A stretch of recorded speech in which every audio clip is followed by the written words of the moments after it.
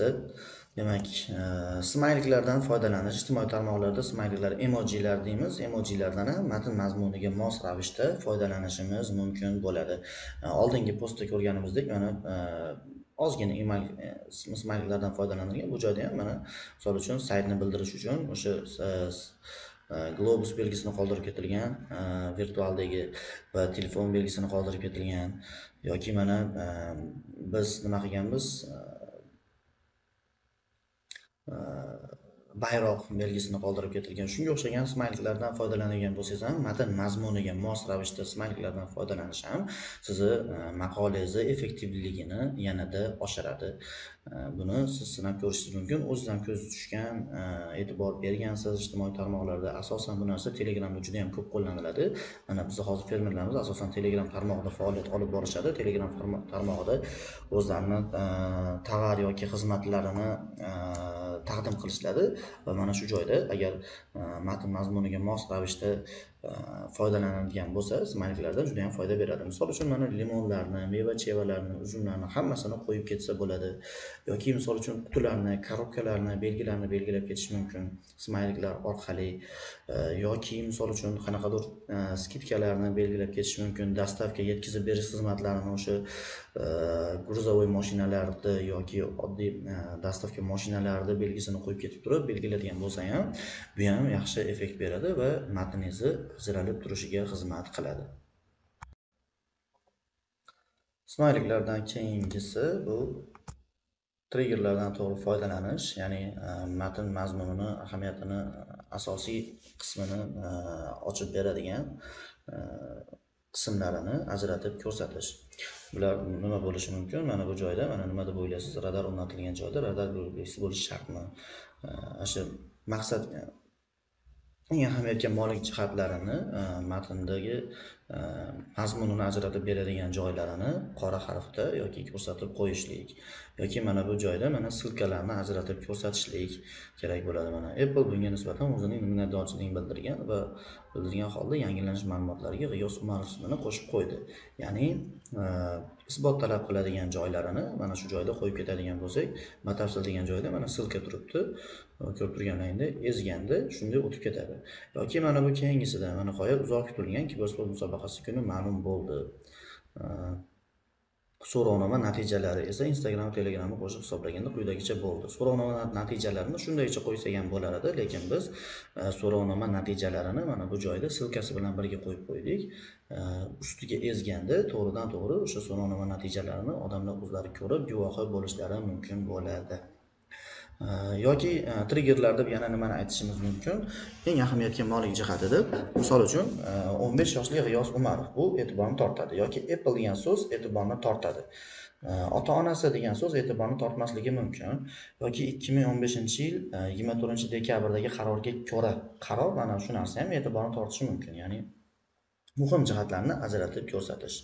Shularni biz triggerlar deb atashimiz mumkin va shulardan ham e, har qanday matnlarimizda foydalanadigan bo'lsak bu juda yam foydali bo'ladi va o'sha aytganimizdek yana qaytaramiz e, matnlaringizni effektiv bo'lishiga sababchi bo'ladi va bunga albatta yordam beradi.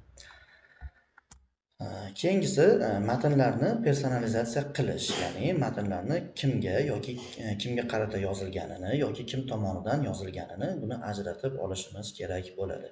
Bu yerda hozir mana uch xil matn e, berilgan. Bular mana demak e, suv tashuvchi mashina bilan bolakay turli xil qiziqarli o'yinlarni o'ynaydi. Bu yordamda o'zi yasayotgan qum shaharga suv olib borishi yoki shaxsiy avtoparkdagi o'yinchoq mashinalarga yoqilg'i yetkazishi mumkin. Bunda matn ko'rib turganimizdek e, birorta odamga qarata yozilmagan e, va oxiridagina yozilyapti. Bu yerda hamkorlik uchun dilerlarni chorlaymiz. Bu joyda matnni tepasidagi mana qismiga qaraydigan bo'lsak bu matn umumiy ma'lumot sifatida berilgan xolos. Xuddi anavi e'lonlarda bo'lgandek falon falon narsa sotiladi falondaqa falondaqa falondaqa degandek e, ma'no ahamiyat kasb etadi bunda. Э, lekin birortasiga qarata yozilmagan. Oxirida faqat e, hamkorlik uchun dilerlarni chorlaymiz deyilgan lekin e, dilerlar deb turib dilerlar sizlarni hamkorlikka chorlaymiz deb ham aytilmagan. E, endi bunisida qaraydigan bo'lsak ey товарищ уже воспользовался выгодным предложением э, в этом месте ya'ni bunda ya'ni rus tilida murojaat qilyapti ya'ni sansirab murojaat qilyaptida э, to'g'ridan to'g'ri odamlarga do'stona munosabatda qilib aynan bitta odamga murojaat qilyapti. Buni tekstni o'qigan odam biladiki aynan e, o'qiydigan bo'lsangiz siz e, manga yozilgan bu narsa deb e, o'qiysiz. Ya'ni aynan bitta odamga murojaat qilib gapirilyapti bunda.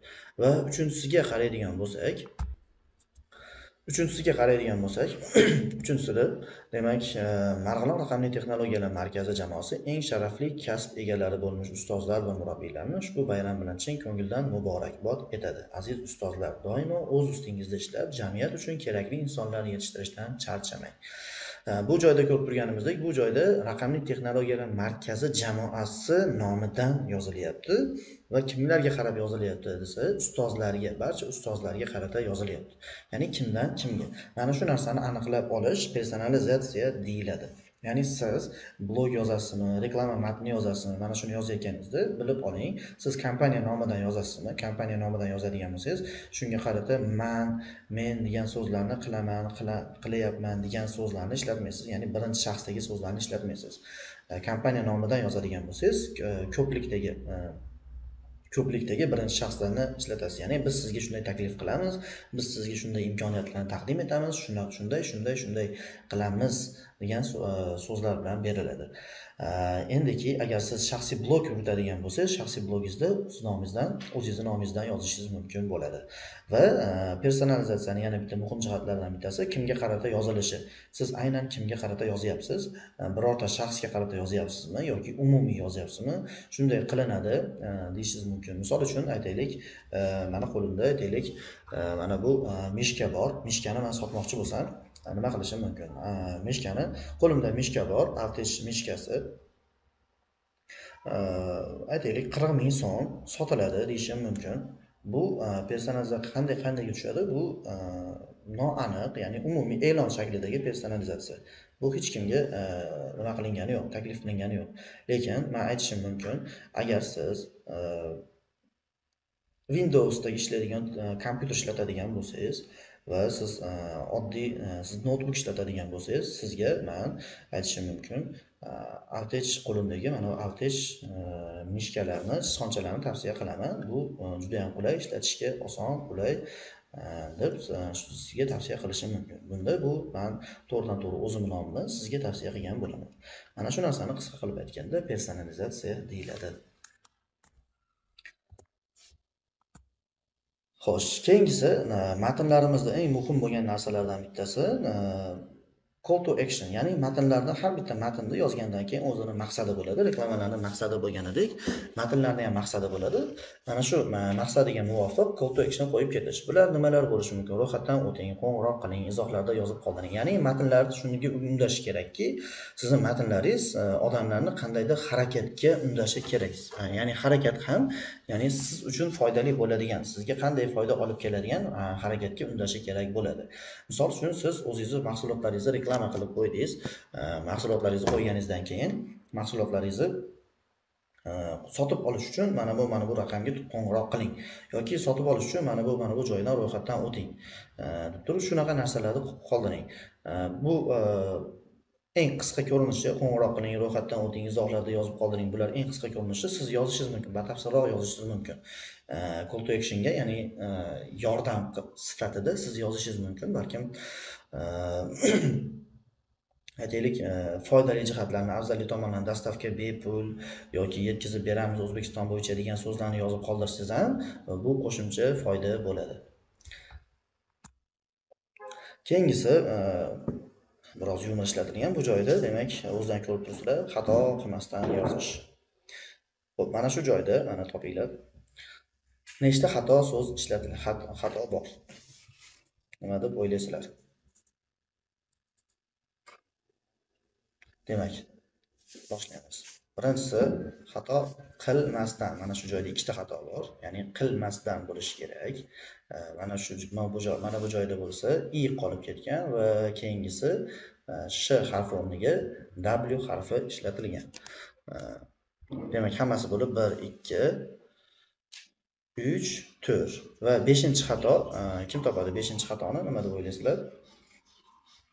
Albatta beshinchi xato bu. Hammasini katta harfda yozilishi katta harfda yozilgan e, matnlar ham o'qishga noqulaylik tug'diradi. Shuning uchun e, katta harflardan uzoqlashish kerak bo'ladi.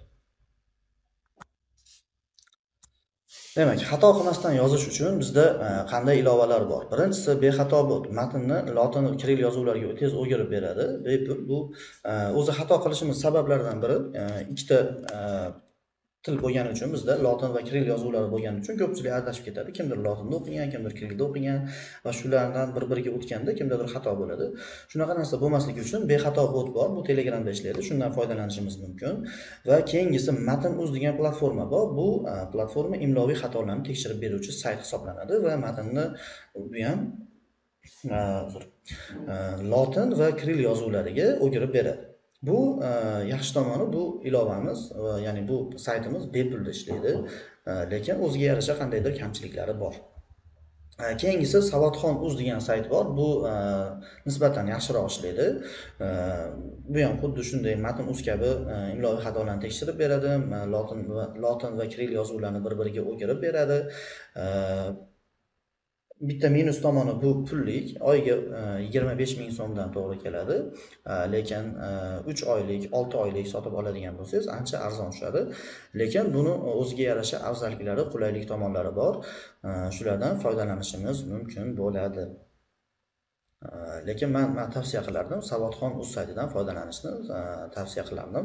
Chunki ko'p holatlar bo'ladi qattiq yumshoqmi yumshoq misol uchun qayerda tutuq belgisi qo'yiladimi? Qo'yilmaydimi ikkita tmi e, bitta tmi yoki e, mutaxassis degan so'z bor. Misol uchun qayerda ikkita s bo'ladimi ikkita a bo'ladimi e, qattiq h bo'ladimi yumshoq h bo'ladimi degan so'zlar ko'p savollar ko'p aylanadi. Mana shu narsalarga aniq javobni siz shu saytlar orqali olishingiz mumkin bo'ladi. Bu ancha sizni vaqtingizni e, tejaydi.